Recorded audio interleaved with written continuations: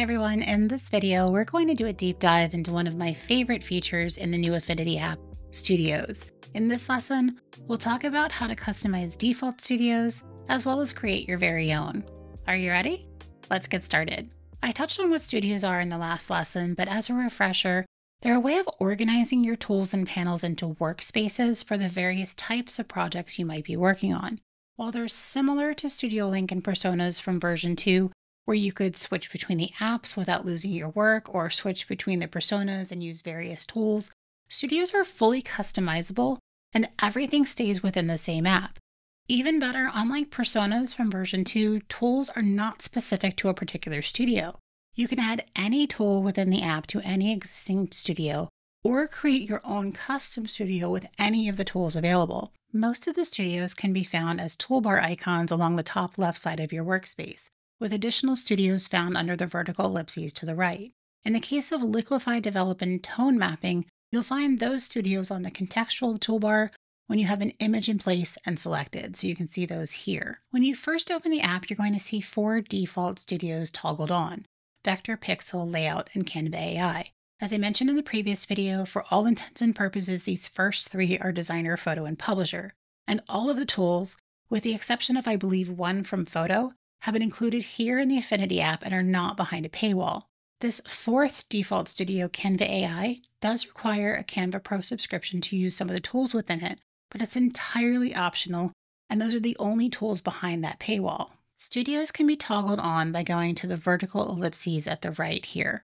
One note for those who use what was Export Persona in version 2, those tools are now here in the Slice Studio. You can have as many or as few studios toggled on as you'd like. If you add more than the toolbar can leave visible, eventually you'll get a double caret here and you can see that anything that's not showing will be showing under this drop down. If you don't want to toggle on the visibility of a studio, but still want to open it, again, go to the vertical ellipses and you can just click on the name.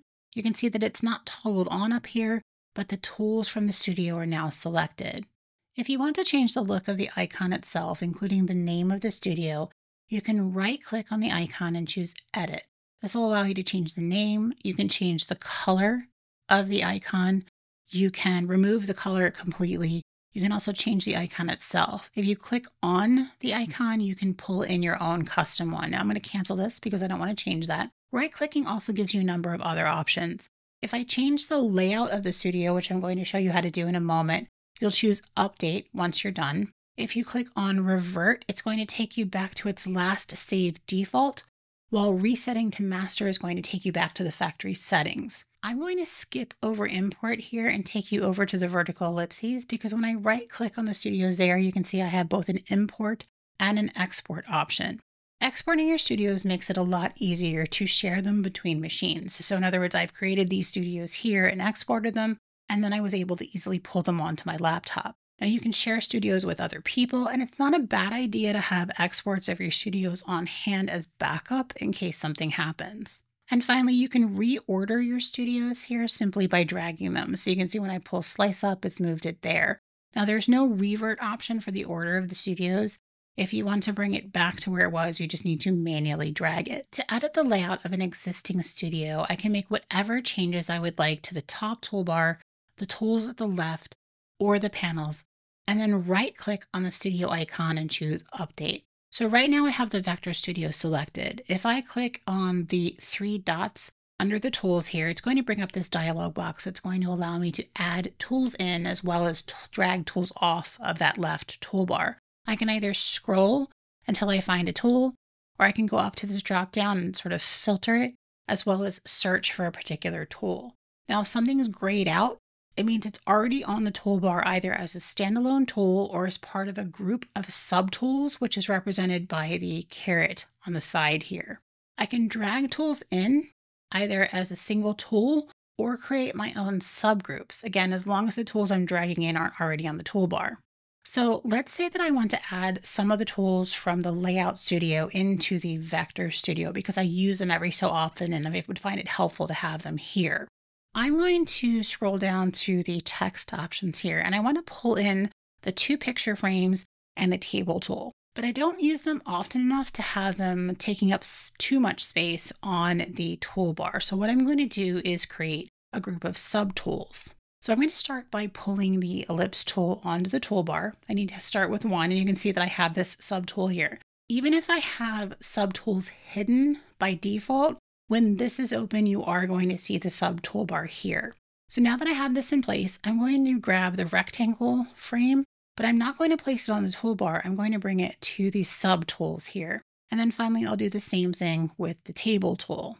The only two things that you can't pull into a subgroup are separators and then an existing group of tools. Now, speaking of those groups of tools, one thing you're going to notice is that even though I just pulled the picture frames into the toolbar, and you can see that because they're grayed out, the group of them is still lit up and I can add it to the main toolbar. So if I drag it over here, you can see that I've added that. So I have that, and then I have the one that I created. I'm not really sure why it allows me to add the tools the second time via a group, but just know that that option is there. Now, I don't actually want to do that, so I'm just going to pull that off to remove it. I'm going to make some changes to my panels next, so I'll close this out.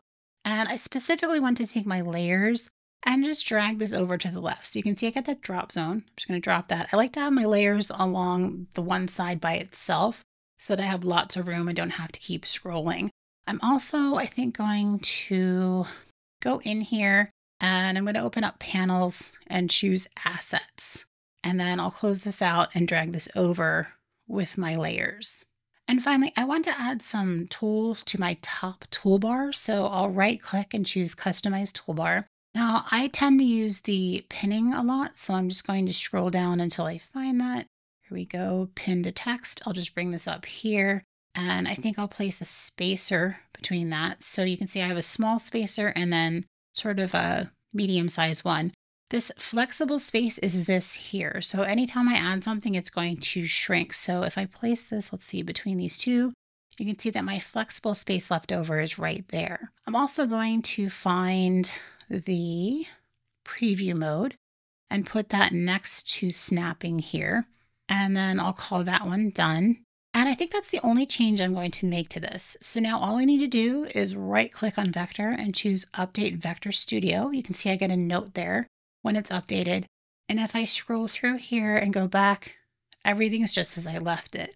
And again, if I decide I want to revert back to factory settings, I can right click on the icon and choose Reset Vector Studio to Master, choose Yes, and it's back to where it was. In addition to editing an existing studio layout, you can also create your own like I have here, either by cloning and adjusting an existing studio layout or by starting fresh. Now, since I just showed you how to adjust an existing layout, let's start fresh with this one. I'm going to go to the vertical ellipses and choose Create Studio, and I want to set one up for surface pattern designs. So I'll just key that in. And again, I don't want to clone this from anything, so I'm going to choose none from the drop down box. Now, instead of an icon, I tend to use photos. So I'm going to use this image of a cat and I'll choose this for the tab color and choose create. Now you can see I have nothing in here. This is completely empty with the exception of a few defaults. So I'm starting fresh with this. I want this studio set up for when I'm creating surface pattern designs and I'm going to keep it pared down to the essentials that I need for pulling together the final pattern. So I've already created my motifs and I only need a few tools and panels to pull the final design together. So I'm going to start by customizing the toolbar. I'll go ahead and click the three dots and you can see nothing's grayed out because there's currently nothing in the toolbar. I'll go up to the top and I know I want the move tool in there and the node tool and I'll place a separator under those. I like to have the fill tool in place because I use that to test my patterns. So I'll bring that in and I want to have the artboard tool. I'll put another separator and I'm going to scroll down because I want the shape tools, but I'm going to stick to the group so that I have a subgroup rather than taking up a lot of space on my toolbar. So I'll just drag this up to here. And then finally, I want the pen. So the pen pen and pencil tools. I'll place that there. And that's it. I'm going to go ahead and close that out. Now in the top toolbar, I'm going to right click, choose customize. And I know the first thing that I want to add is that export button. So I'm going to put that over to the right here. And I want snapping in place because that's important. So I'll place that there. I'm going to put a little bit of space next to it. And then again, pull in the preview mode And let's see, what else do I want to add? I'm going to bring in the Boolean operations. I may not need it and I can always adjust that, but I'll just pull that in. And I like to have arrange in there, but let's put a space between those. I'll also put in transform and I'll call that done at the top here. So again, I'm just going to put a little space between those and that's it. So I'll click done. And finally for my panels, I'll head up to window and open up the first panel that I want to add. I'll just pull in layers and then drag it over here to the left. Now I don't need to go back up to window. I can just toggle down on this caret and open up panels. I'm going to run through the list and toggle on the ones that I need, and then I'll sort them out on my workspace. So I know I want assets and color. I'm going to open up library and macro and symbols, swatches, and the transform panel. I'll shut that down and now I can sort everything. So assets, let's see where those are at. They're right here. I'm going to pull over to the left here. I want to bring color up to the top right I'll add swatches right next to that, and then the transform panel. And I'm going to add symbols right below that. You can see I get those drop zones, so I can link them below it. I'll add library next to that, and then macros. And I'm just going to drag that to the other side. Once everything's in place, I'll right click on the icon for the studio and I'll choose update.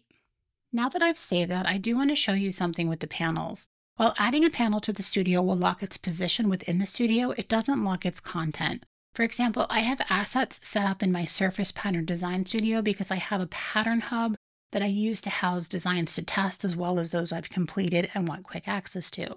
I have this open here in this studio, but if I jump to my main studio where I have it on the other side, you can see the pattern hub is showing here as well because I had just opened it. If I change this to something like my planner kit and go back to surface pattern designs, it's changed it here as well. So it's going to lock the placement of the panel, but not the content selected. Just keep that in mind.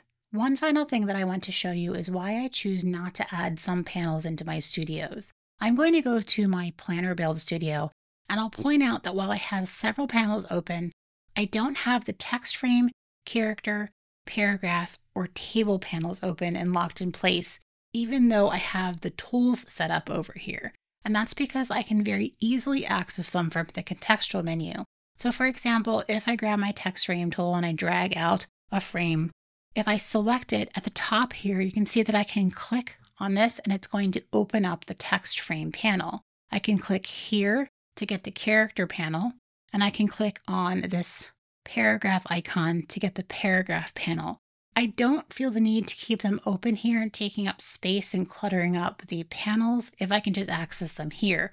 The same goes for the table tool. If I go ahead and drag out a table here and I click on this icon, it's going to open up the table panel. So again, just to avoid cluttering up my panels, I leave them out of the studio and access them up here in the contextual menu whenever they're needed. If you have any questions about what I've covered here or in the first two videos in the series, let me know in the comments below.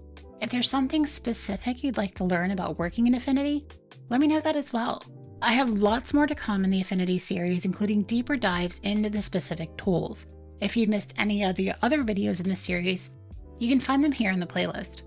Thanks for watching!